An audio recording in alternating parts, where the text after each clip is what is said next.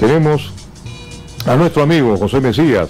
Él es numerólogo, ya ustedes saben que esta es una ciencia aplicada a los números, que este, ha tenido aciertos, evidentemente, eh, José, respecto a este tema. Hoy día se va a centrar en estos estudios en numerología que ha hecho sobre el partido que va a jugar próximamente Perú con Costa Rica, partido amistoso. A ver, ¿cómo está eso? Eh, sí, este, luego de que mm, le ganamos a, Paraguay un partido que lo pronostiqué hace varios meses, eh, saqué un blog que se llama numerología y fútbol.blogspot.com, ¿no? Ahí llega un 80% de, de aciertos, ahí está registrado y ahora que había encontrado un código que le podemos ganar a, Costa Rica el, miércoles eh, por varios varios este, señales este, quería exponerlo no ya para que quede registrado como un pronóstico uno te vamos a pedir este, que especifiques, técnicamente porque eso tendría que hacer con una pantalla eh, eh, claro muy, muy, largo o algo, algo someramente de repente no para que se pueda entender bien pero tú has hecho sus estudios. Sí por fecha, sí. Perú le gana a Costa Rica sí, sí debería debería ganarle sí no, por, no le gana.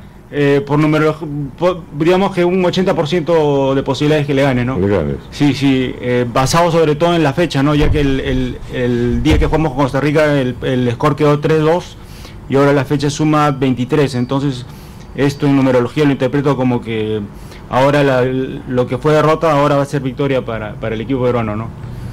O sea, de acuerdo a esos cruces que tú haces en, tus eh, estadísticas numerólogas, eh, Perú, un 80% de posibilidades que le gane a Costa Rica. Claro, otro factor es que se juega el día miércoles. la vez pasada se jugó martes y el miércoles es significativo por estar en, un año impar. Siempre los años impares son favorables a Perú y, el miércoles fue el día en que nos clasificamos ¿no? al, al mundial al mundial ese día, ese, eso también, ese, ese, dato también me sirvió a mí para, para pronosticar que le ganamos. Una cosa simple. Perú se clasificó al Mundial de Rusia jugando un día miércoles. Claro. ¿No es cierto? Número impar. Eh, en los años impares son favorables a Perú, claro, el, 17, el 19, en cambio los años pares, 18, eh, este, 16 son desfavorables, sobre todo cuando se juega miércoles, ¿no? cuando se juega miércoles. Claro. ¿Qué otra cosa adicionas tú a este cruce de...? Eh, que la vez pasada jugamos con en Arequipa.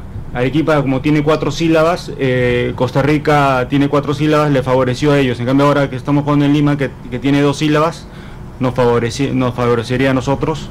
Eh, astrológicamente, más el regreso de Guerrero, ¿no? eso, eso, eso es una es otro factor este, que se suma, digamos, a la, a, que los astros estén a nuestro favor, ¿no?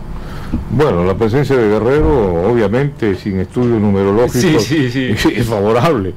Más allá que se haga o no haga goles, pero su presencia es importantísima para la selección. ¿Y qué otro factor adicionas tú en este cruce de números que te van eh, dando ya más o menos un, derrotero de, que podía darse? Claro, eh, lo que pasa es que yo tengo un video viral de un millón de visitas en que relacioné la, película, la saga Rocky con, con, Perú por una serie de factores numéricos y justo el día que se estrenó la película eh, Creed 2, que es Rocky 8, este, fue el mismo día que se dio el sorteo para la Copa América y fue aparentemente favorable, ¿no? Nos, nos, nos, colocó en un grupo accesible y curiosamente en esta película el, el, personaje comienza perdiendo con el sparring, que en, esta, en este, este, digamos, en este ámbito lo asocio con Costa Rica, pero después le gana, ¿no? Y ya está listo, o sea, ganarle a Costa Rica es como una señal que ya estamos listos para para enfrentarnos al torneo que sería la Copa América. ¿no? Tú dijiste anteriormente que Perú en el campeonato Copa América estaría en los cuatro primeros lugares. Claro, en la casa de apuestas le dan un 7% de posibilidad de llegar a la final, yo le doy 10% de llegar a la final, pero eso, eso, es bastante porque conforme vayamos avanzando se incrementa ese, ese, porcentaje. Muy bien. El resultado de esto que has traído para esta mañana es que Perú, el partido frente a Costa Rica, 80% no, debería, debería, de ganar, sí. Debería ganar. Sí, sí. Bueno, todos los otros numéricamente están a nuestro favor para ganar ese partido, ¿no? Ya, con tal que no cometamos errores groseros como... Numéricamente, pero no astrológicamente. Eh, astrológicamente... ¿O tenemos a algo de astrología? Eh, bueno, se podría decir que astrología podría ser el, día, pero el día en que se juega también influye, ¿no? En ese sentido. Estás hablando como claro. preguntan José con, este, con nuestro amigo Walter N, que también tiene astrólogo. Ah, ya, ya. Él ha sido profesor de Sandrox. De, de, de Sandrox, de Sandrox y de, también de Walter Mercado. Ah, ya, ya. Pero bueno, quitando la broma aparte, ¿y el partido con Colombia lo, hace? Lo hace eh, No, no, no, pero de, eh, si lo, ideal con Colombia sería no no perderlo, por lo menos. O sea, eh, no, importa no ganarlo, pero no perderlo es una buena señal de. ¿Pero vas a poder tener los, los, el, mismo análisis que has hecho con Costa Rica? Si es, si es que en, estos días se encuentra algún algún patrón numérico, lo, lo, manifestaría. Porque recuerda que el último partido que tuvimos en el eliminatorio anterior acá en Lima fue contra Colombia el, 1 ah, a 1. Sí, sí, sí, sí. Gol de, justamente de, Guerrero. De Guerrero, claro, claro. Eh, bueno, eh, no, no, perderlo sería una buena señal para para la, si encuentro algún en estos días algún código que me diga que le ganamos. Mira, ¿qué te parece este código? Yo entre lo que rebusco, sí. digo, este es un dicho dice, el talento gana partidos, pero el trabajo en equipo y la inteligencia ganan campeonatos. Ah. ¿Cómo lo ves, Andrés? No, Raúl. Muy bien, José. Ya en la próxima intervención tuya nos traerá seguramente un adelanto de lo que puede ser la, Copa América. ¿no? Claro. Los partidos, ¿cómo lo ves tú? De acuerdo a tu estudio numerológico, la primera opción, Perú en su debut va a enfrentar a. ¿Quién ¿Con, con, quién con Venezuela, sí. Venezuela, Lo ideal aquí es como el mundial no, no comenzar perdiendo, ¿no? Si podemos ganar los dos partidos primero, mejor, ¿no? Claro. Ya... Entre uno con buena moral. sí, sí, ese es el, Después te voy a preguntar, bueno, ahora ya no, porque esto, esto no es cuestión de que lo hagas en un instante, ¿no?